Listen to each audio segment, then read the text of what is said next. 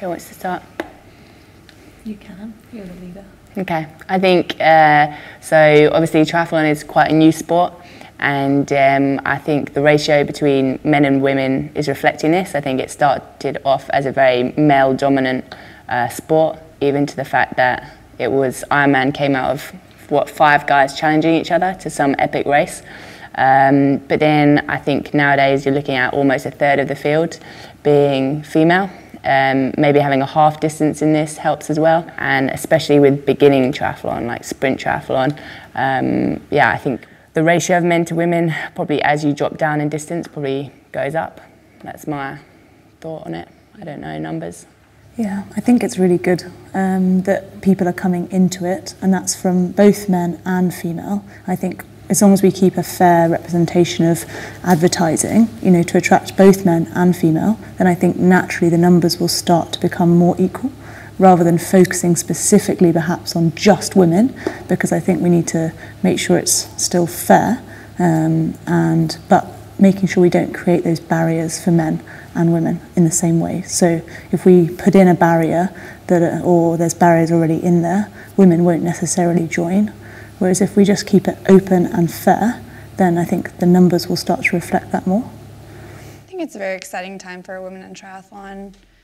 Obviously, like the numbers are growing at the amateur level, but I think that there's still a disparity that isn't reflective um, of ability or interest maybe is more reflective of barriers to entry. But I think that at the same time, I see a lot of excitement from the amateur level, a lot of um, women really following our journeys and following the top women of the sport. So I think that probably social media has has been huge in that aspect of creating that connection and showing what women are capable of. Yeah, definitely. Does that? That's a tough question. I thought it was asked to you. Yeah, I think um, I think in triathlon, if you're looking at headlines as like female stars and male stars, but from my point of view, I'd say it's pretty even. Like you have just as much following for someone like a Daniela or a Lucy as like a Lionel or a Sebi, and I think that being known as someone's partner um, isn't just like a, a girls thing. I wouldn't say there's a massive difference yeah. of that in triathlon. Like in football, yeah, you very much might get a wife known as like uh, for her husband.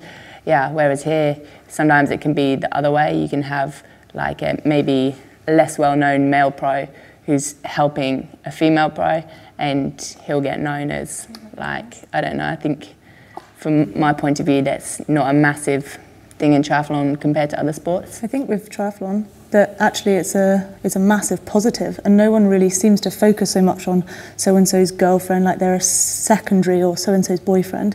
It's more that the the triathlete themselves realizes at all levels so like from entry to amateur to you know top age group to professionals it becomes all about the athlete and their team supporting them so they don't necessarily have just another half. The athlete openly voices that they're, it's them and their team and we, and that that's a package for them, which is, I think it's really nice in triathlon. Yeah, absolutely. I think that our sport does a pretty good job of celebrating the athlete's accomplishments, and I think that comes from like the structure of the race that we do, how you can so easily see like what the athlete is accomplishing and how like that's broken up by their event. And I think the media does a pretty good job of um, recognizing our accomplishments as athletes. And I think another thing where like the foundation is very strong is that we're all paid the same amount from a prize money standpoint, which is unique to our sport. A lot of sports aren't there yet where the prize money for men and women is the same. And so I think having that level of equality, that starting point, creates this foundation where we have like more equality from the onset, if that makes sense. It allows like the potential for equal opportunity rather than having to fight for it like other sports are. Right. Yeah.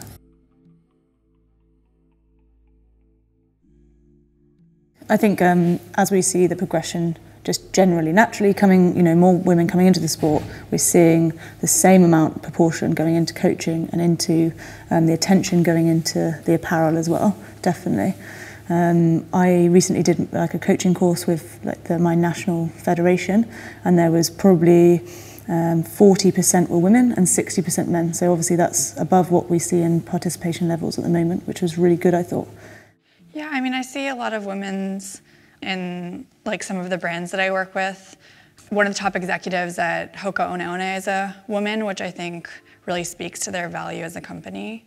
We see um, women at lots of the brands that we represent, and I think that um, that's probably created opportunities for us um, in this sport and investing in us in this sport. Yeah, definitely. And I think, yeah, again, looking a couple of years back, perhaps it was more the role of, of uh, um, the females in the company. Perhaps more would have a social media role because um, you very much like will see that in a company and less to do with the product and the designing.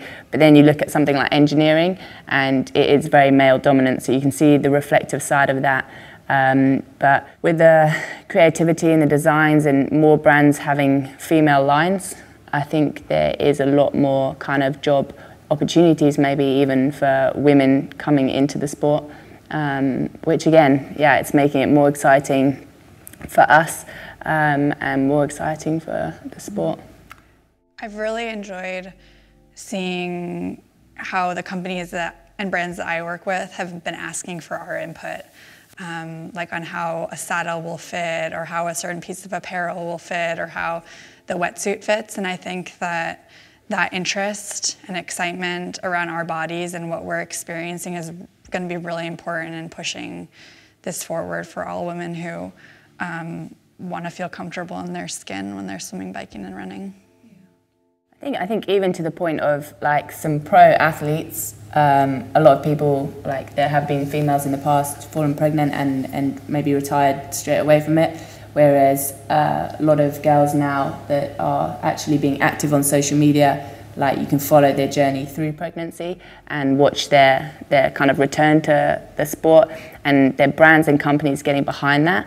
I think that's very much been okay. Well, you need a female input, um, and to see that and watch that and watch a whole kind of new branch of sport coming out from that. That yeah, of course, it's very like very much focused on the women, but from a positive point. You're not excluding men. It's just okay. This is like another dimension to being all inclusive to everyone. Like, how can you train safely when you're pregnant, and how can brands support it being comfortable and accessible?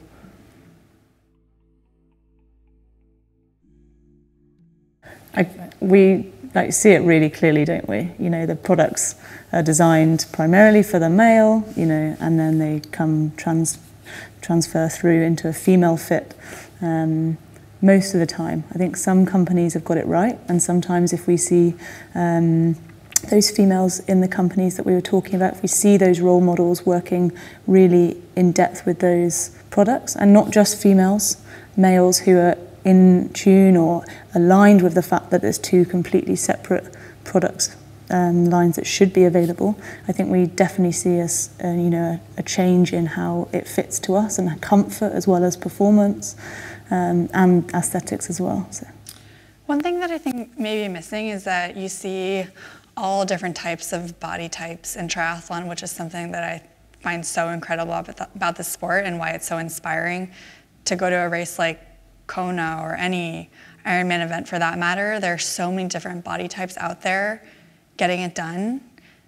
But I don't know if there are products for all of those different body types. And I think that that leaves some room for growth perhaps with a lot of brands creating products that all of those women will feel really good wearing. Yeah, and I think I think again, like it's not a separate issue. It's not okay, like feel good there's there's a feel good wear and then there's a performance wear. I think often for everyone, men and women, I think if you feel good, like and you look good and like you will perform well. And I don't think just necessarily like a lot of the materials often are like not bad for performance, but I think maybe the marketing could sometimes just highlight a bit more that yeah, just because maybe you have a little bit of a larger upper body doesn't mean that you're still not going after performance. Like you can still market like that vest as a performance type of gear. Um, and I think, yeah, it, a lot of people in the sport want to be buying things that are fast. Like women can be just as competitive as men. Um, mm. I think um, basically what you were saying, where you've got different types of um, women. I think key to the the product lines is that it's and it's maybe being a bit unfair on the man. But um, if you look at a woman, a woman doesn't want to just be like one type. She doesn't want to be one person the same. A woman, like every woman, wants to be slightly different. So I think the women doesn't necessarily need like one product. We want we want a product that you could maybe choose like I want slightly more supportive here because this is my body shape. And somebody with a slightly different body shape, they might be taller, leaner, less curvy, might need a slightly different fit. You know, maybe they'll go for the slightly higher leg or, you know, um, more of a racer back rather than a sort of supportive back for the lady who doesn't want, you know, to have too much movement in the swimming. So I think um, maybe brands should explore the idea of not just having a women's line, but the ability to mix and match in a way that is most supportive for that one individual. So the woman feels like they are being supported rather than they're just the, a collective of women. Yeah, I think we want options. And I know how I feel when I put on a piece of apparel or a swimsuit that fits me perfectly. I feel like ready to take on any thing that my training or racing demands. And I think everyone who is participating in this sport deserves that same feeling and confidence that comes from like wearing something that you feel really great in.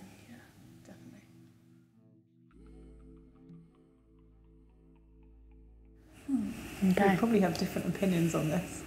Yeah, I, I, think swimming apparel is a massive one because I think too loose, then you obviously slows you down and you're going to show bits that you don't want to show.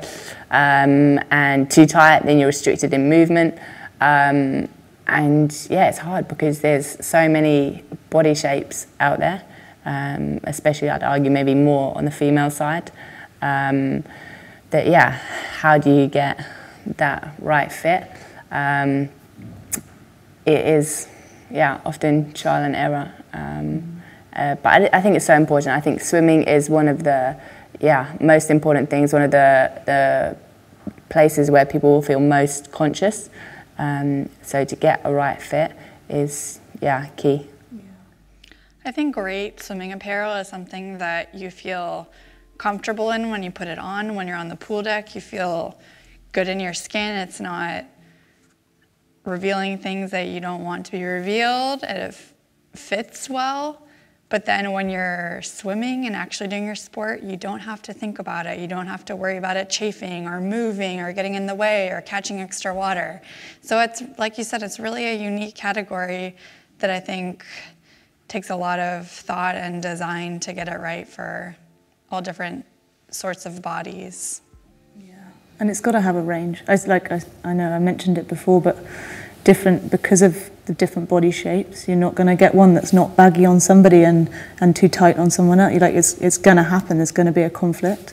So I think there's got to be, um, you know, either different suits for different body sizes rather than just small, medium, large. Like, you know, we've got the sort of, the we've broken it down, you know, in other some sizes like European, they have like 32, 34, 36. But I think that even that doesn't necessarily cater for, you know, larger women on top, larger women on, on the bottom. Um, but I think we all want to look good. I think that's one of the things that I would mm. draw on mostly is like, if you're going to get on a swimming costume, like you're getting yourself out there, you're exposing yourself. And I think for every woman, it's always about like having the self-confidence to be like, yeah, I'm going to stand on poolside and not try and, you know, hide away. Like you want to feel good in that swimming costume before you actually start swimming. Otherwise, you just won't wear it. I think that has a different meaning for every woman. Like some women out there think bold is looking good, like being bold, bright, having fun with your colours, and then other women like they don't want to draw massive attraction to their swimming costume. So it's that very much. It's not just like one, yeah, being different in the fit, but it's been different in the design. And I think also something that we see a lot in the wetsuit ranges, uh, you might get a small men's and a small tall men. Um, and a medium tall and a medium small, whereas like in the females, normally you get a small, medium and large. Um, and I think, yeah, you have yeah, short, shorter women, you have taller women, and I think that would be a nice, like, another dimension to see in, in the wetsuits.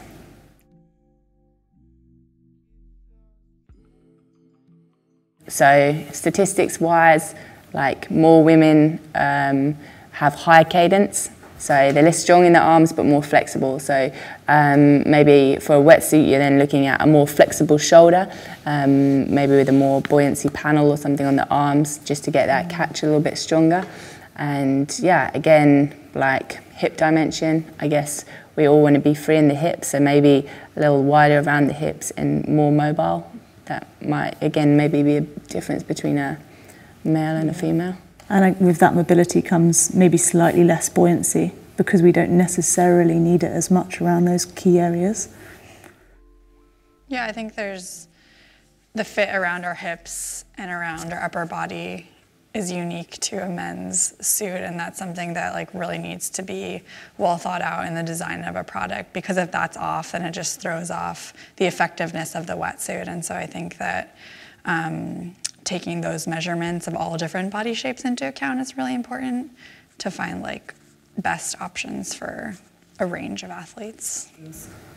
And I guess perhaps the swimming stroke is changing slightly, you know, for women in terms of uh, the distance that we're swimming. So uh, ITU, you know, the short course stuff compared to the long, full Ironman distance athletes, like stroke rate, kicking, efficiency, like that's something to consider, I guess, with uh, the wetsuit fit.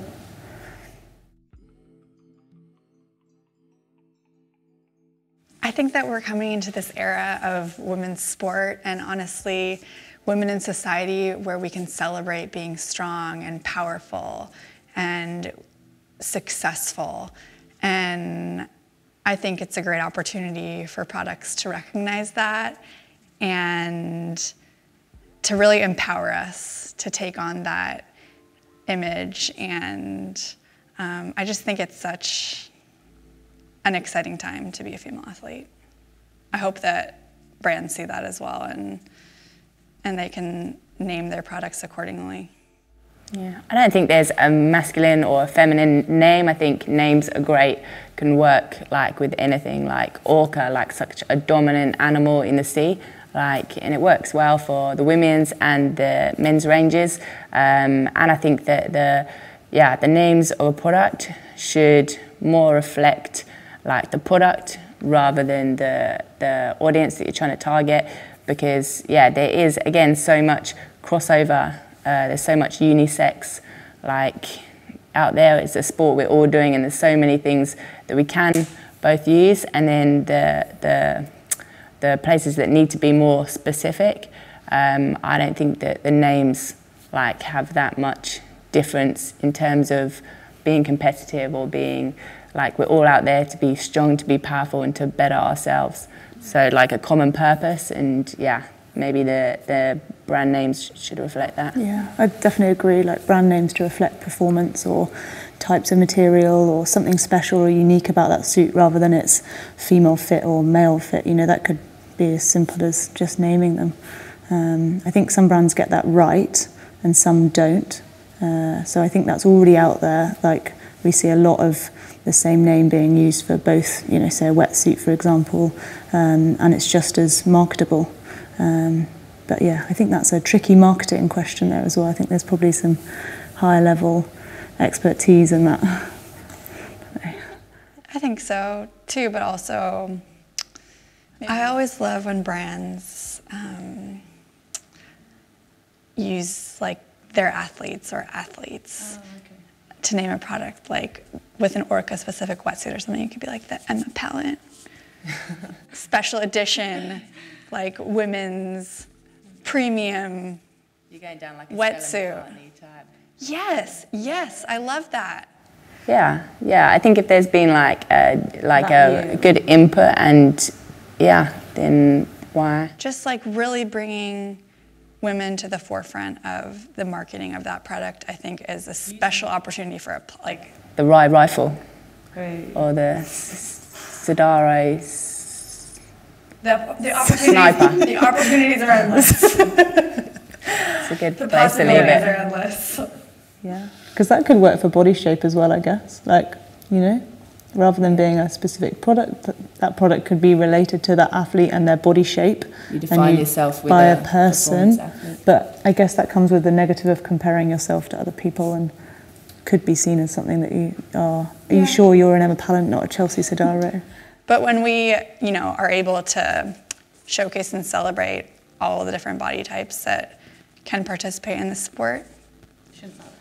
yeah, I think that all amateur athletes or athletes of all levels can identify with those different body types.